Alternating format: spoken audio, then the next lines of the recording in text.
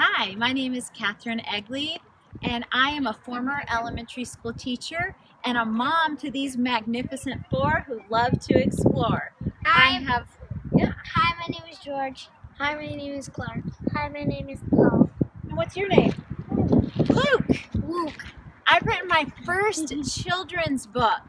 It's a fun story where these four climb Pikes Peak and encounter the animals that actually live there.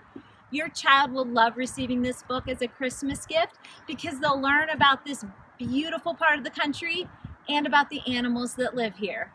I'm working with a local illustrator and a graphic artist who are helping me get this book published. What's the title of the book, boys?